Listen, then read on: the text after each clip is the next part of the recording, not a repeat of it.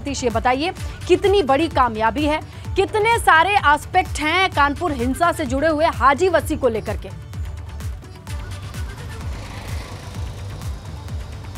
देखिए, इसे बहुत बड़ी कामयाबी पुलिस के लिए कहा जाएगा, लेकिन नाकामी इस बाबत थी कि एक महीने से हाजी वसी फरार था और हाजी वसी को कानपुर पुलिस पकड़ नहीं पा रही थी, लेकिन देर रात उसे लखनऊ से कानपुर की क्राइम ब्रांच ने गिरफ़्तार कर लिया है और एक गुप्त स्थान पर रखते हुए उससे पूछताछ भी शुरू हो गई है। आपसे कुछ देर पहले कानपुर के जो पुलिस कमिश्नर विजय विजय कुमार मीणा, उनसे हमारी जब बात हुई तो उन्होंने साफ़ तौर पर इस बात की पुष्टि की कि गिरफ्तारी कर ली गई है।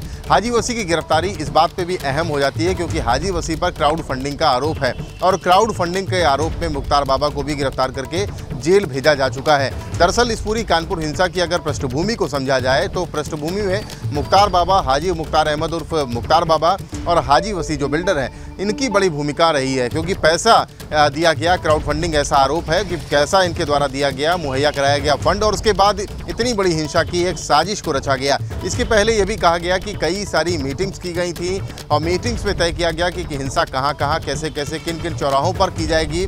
तीन जून को कानपुर में शहर का माहौल बिगाड़ने की भरपूर कोशिश की गई। नई सड़क और परेड में जमकर बवाल हुआ पत्थरबाजी हुई फायरिंग हुई बमबाजी हुई और शहर के माहौल को बिगाड़ा गया। अगर हाजी वसी की भूमिका की बात की जाए तो हाजी वसी विवादित बिल्डर रहा है काफ़ी विवादित प्रॉपर्टीज़ पे कब्जा करते हुए वहाँ बहुमंजिली इमारतें खड़ी कर देने वाला और इसको लेकर के जब हिंसा हुई और हाजी वसी का नाम इस मामले में सामने आया तो उसके बाद तमाम सरकारी विभाग जागे और उसके बाद उन पर कार्रवाइयाँ शुरू हुई।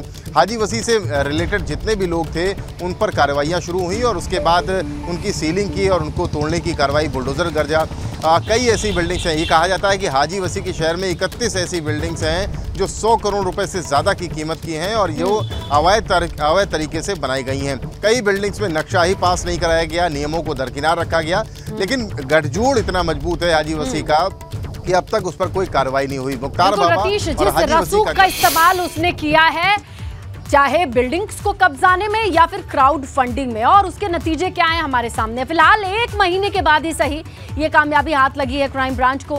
अब देखना होगा कि किस तरीके से पूछताछ में और खुलासे होते हैं।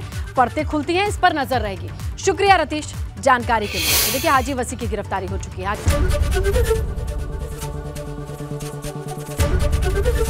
एबीपी गंगा खबर आपकी जुबा आपकी।